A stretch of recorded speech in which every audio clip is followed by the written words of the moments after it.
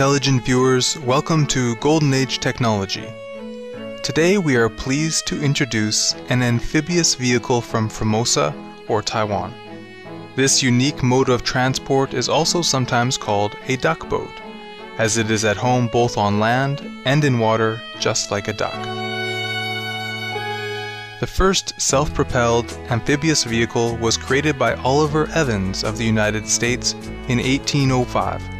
It was essentially a barge weighing 20 tons equipped with axles and wheels and driven by steam. Today's versions have evolved quite a bit from Mr. Evans' model. They are multi-purpose and used for recreation, expeditions, and search and rescue missions. Amphibious buses are popular with tourists in cities that have harbors, rivers, or lakes.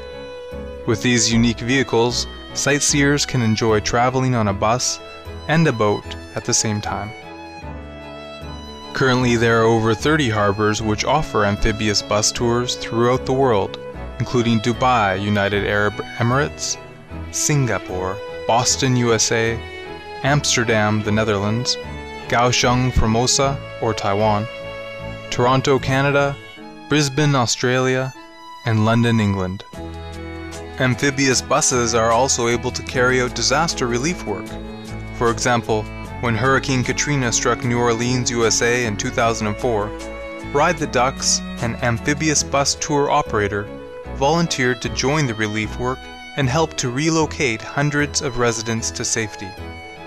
In Formosa, or Taiwan, typhoons typically occur annually, bringing heavy rainfall and serious flooding to low-lying regions. In a 2001 lecture given in Florida, USA, Supreme Master Ching Hai mentioned that amphibious vehicles can carry out missions to rescue people in areas even when other modes of transport are unable to do so due to the high waters.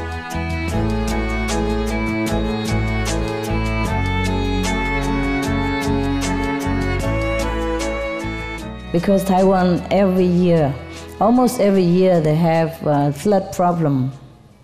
Because, uh, like for example, Taipei is in, in the in the valley, you know, and all the water would go there and stay there for a while. And if without these boats, you know, no car can go. And helicopter has more limited, you see, more limited. And uh, the boat has more, more chance, see. A helicopter, they cannot uh, stay on top of the, the roof when the house falling or when a lot of uh, water, but this boat can. This is uh, invented by one of ours, our brothers, and it's easier to operate. If you read the news, you see they use this kind of uh, amphibious, the amphibious uh, boat and car together help a lot of people. Many years ago, our association member from Formosa or Taiwan designed an amphibious vehicle specifically for rescue work during typhoons, floods, and other similar natural disasters. This outstanding machine, which now has been retired, is 8 meters in length, 2.5 meters in width, 3 meters in height, and weighs 5.5 tons. It carries up to 1 ton of weight and can go in and out of water without switching gears. It has a one-piece body designed using fiber-reinforced polymer or FRP fiberglass as the outer shell, which is very durable. A float box is placed inside so that it can float on water. Even if water comes into the boat, it will not sink. Due to its ingenious design, it's difficult for water to come into the bottom compartment. There is a pump aboard to expel water as well.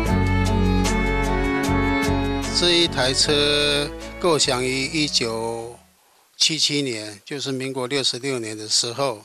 那个时候我刚当兵退伍，看到那个时候我们台湾呃台风每年都有，那消防消防队员要去救灾，一个橡皮艇就四个人抬着，很辛苦又没有动力。那我看到那一种情况，那一种天气那么恶劣，要去救灾，人都站不住了，要怎么救人？那我就想到说，我有可能做一个机动性比较好的救生工具，所以说我就想要做两用的救生车辆，就是那个时候是这样子，呃，构想下，啊，有机会我就慢慢慢着手开始在设计。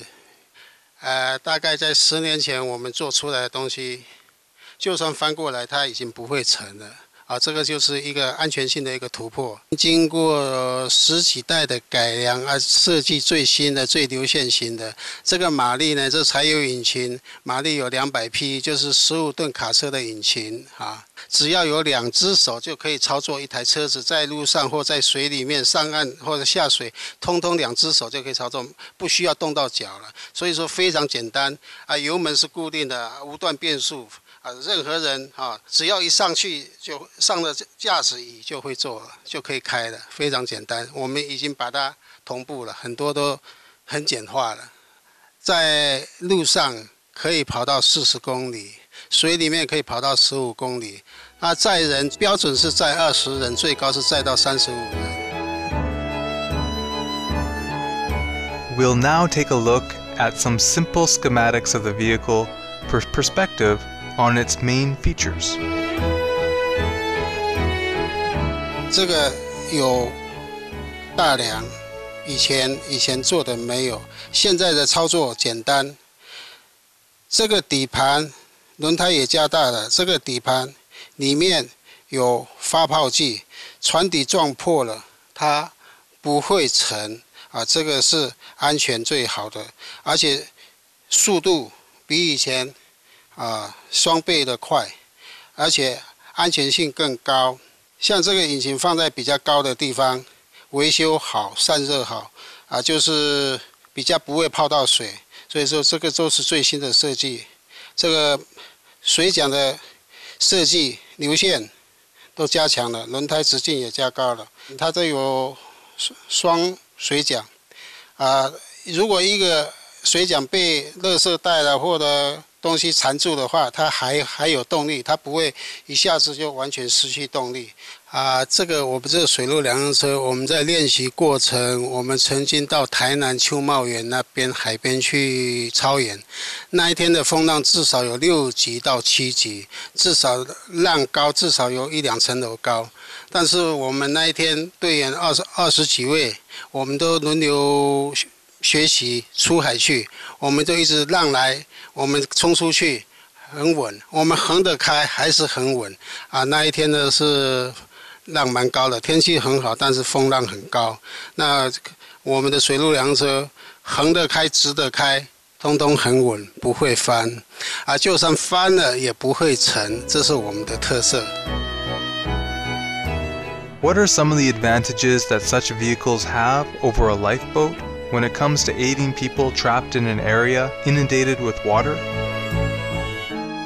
呃，水陆两用车它在救灾的当中呢，就是一般救援都是用橡皮艇去救援，但是橡皮艇呢，它是因为在救灾当中，它会有很多障碍物会刺破那个橡皮艇的那个它装备，然后就是造成危险。而水陆两用车它它是非常坚固的外壳。在救灾当中，如果它有缠绕到什么，哎，绳子啊，或者一些障碍物、塑胶袋什么的，那我们只要开到旁边去高高一点的地方，就可以马上把它做障碍排除，把它把它清除掉，再继续做下一次的任务。During a mission, the vehicle can go directly into the affected area alone to find those in danger. In addition, it can serve as a temporary station during a disaster for taking rest providing medical care, or distributing relief supplies. In 2001, Typhoon Neri hit Formosa or Taiwan and caused severe damage. The rescue team's spirited efforts during that challenging time marked the start of its laudable history of disaster relief work on land and water in Formosa or Taiwan.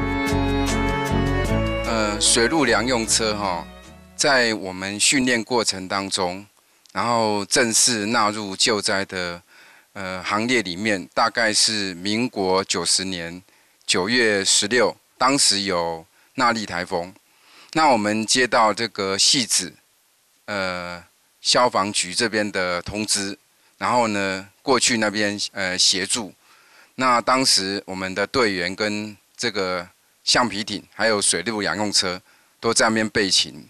那当时这个戏子的这个呃市长哈，就是很希望能够安顿当时当地的民心，所以我们呃除了队员在当地呃驻勤之外，水陆两用车也在当地哈巡逻，然后绕圈，让大家知道说这个地方确实已经做好准备，让老百姓哈不要担心。那那一次之后呢，整个水势雨势哈一直增大。到了晚上大概六七点的时候，整个基隆河的水势啊一直节节上升。到当天晚上的时候呢，发现已经它越过这个呃水道，然后已经往民房那边哈开始呃流窜。那这时候我们队员呢就已经橡皮艇跟水陆两用车一起就出去。那水陆两用车扮演的功能就是它是一个救人，也是一个后勤的补。补给也是一个载人的工具。那当时我们的救援方式是，呃，橡皮艇，它前往各地呢，有需要救灾的灾情哈，去把人带出来。那水陆两用车呢，在后跟进，然后呢，如果有人可以上船的话呢，就上船。然后在上船那当中的话呢，水陆两用车应该可以提供这种一个遮雨避风的地方，同时也是一个休息的地方。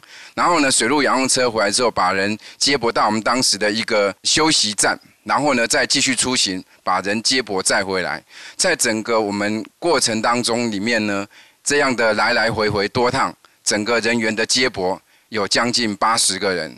那在这个救援过程当中，呃，我们获得了实际的这种呃救援经验。那后来百福社区之后呢，呃，戏子这边分红道没有完成以前，那个地方常常都会有水患，所以只要发生水患或者是做台风的时候呢，都会通知我们前往当地哈，呃，协勤就是驻扎那里。然后这样的情况呢，已经不只是一次。呃，那里台风的。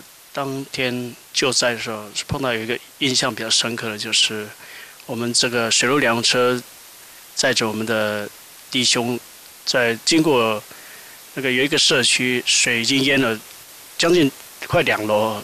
当时我们在搜救的当中呢，就是有看到有一个小小的灯光那边隐隐约约的，然后也有狗在叫，然后最后就是看到有一个人。就站在那个摇摇晃晃的那个板子上，我们当我们发现了，我们叫我们弟兄赶快往那个方向去救援。我们的水陆两车靠近他们，然后就赶快就是抛救生绳，抛过去，然后我们就是赶快把他把他带上来，带上车。他是很感激，说他已经站在那站了一个小时了，就觉得说他得到很很好的那种救援了，这样他很高兴的样子。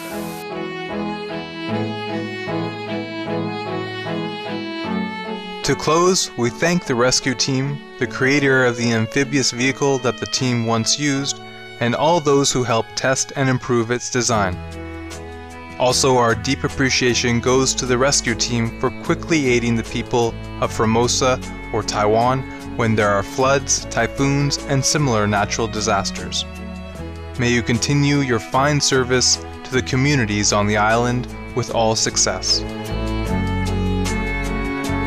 Creative viewers, thank you for watching today's Golden Age technology. Coming up next is vegetarianism, the noble way of living, after noteworthy news. May heaven's abundant love forever enrich our magnificent planet and all its inhabitants. For more details, please visit www.suprememastertv.com forward slash GAT